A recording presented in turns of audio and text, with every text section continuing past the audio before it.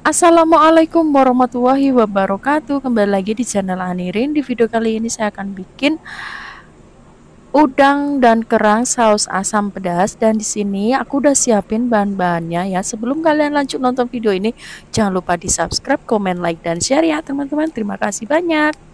Dan di sini aku udah siapkan udang yang sudah aku bersihkan seperti ini ya teman-teman. Dan ini ada kerang. Nanti aku akan merebusnya sebentar lalu sampai kebuka lalu kita nanti bersihkan lagi ya teman-teman ya.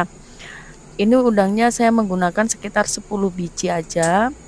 Dan di sini kerangnya udah aku cuci bersih tinggal kita rebus sebentar. Tapi rebusnya saya tidak menggunakan dengan air ya. Cukup dengan ditutup aja sebentar lalu udah kebuka semua ya. Nah ini aku udah siapkan wajan caranya tuh seperti ini teman-teman. Lalu kita tutup sebentar. Nah udah ini udah kebuka semua.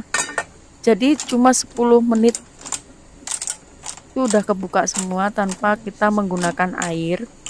Dan di sini kan udah kebu uh, udah saya rebus. Sekarang saya akan uh, bumbunya. Dan ini udah ada bawang merah bawang putih dan juga cabai Lalu saya haluskan seperti ini. Dan di sini saya akan menggoreng udangnya terlebih dahulu yang sudah saya cuci bersih.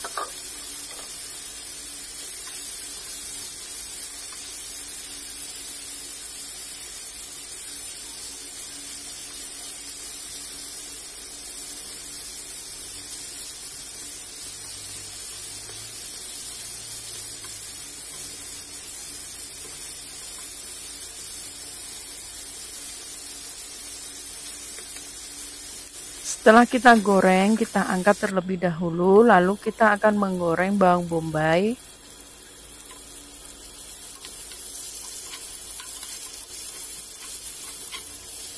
Sampai harum ya teman-teman.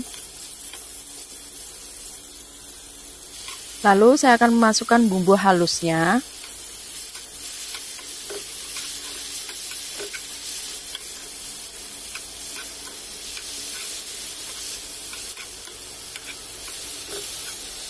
Kita goreng sampai benar-benar wangi.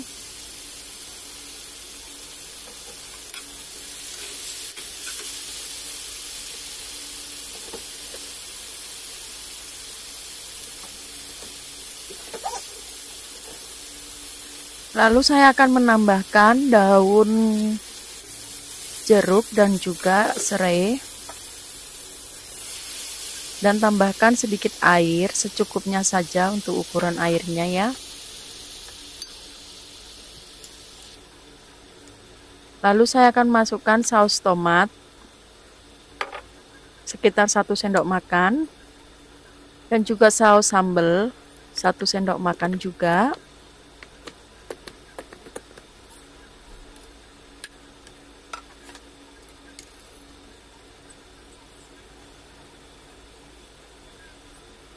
Lalu saya tambahkan saus tiram 1 sendok makan.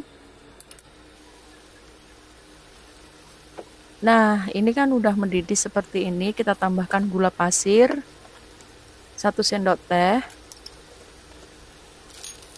Garam secukupnya dan lada secukupnya dan juga ada kaldu ayam bubuk Nah, setelah mengental seperti ini, kita akan campurkan udang dan kerangnya tadi.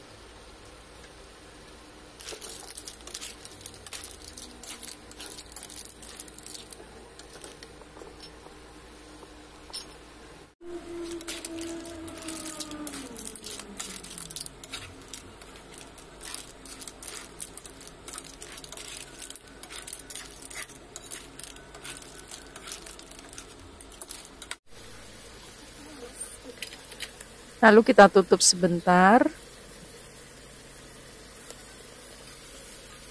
Setelah itu aku akan menambahkan daun bawang juga.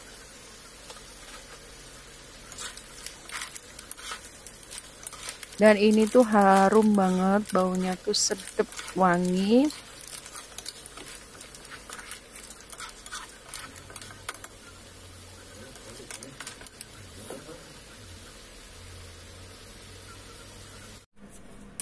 Dan ini udah matang ya teman-teman. Lalu saya siapkan piring. Kita taruh piring di piring seperti ini.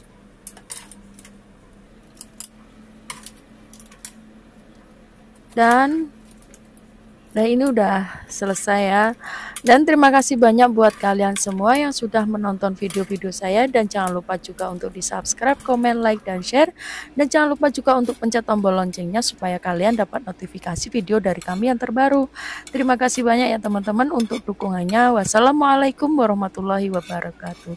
See you the next video. Bye-bye. Selamat mencoba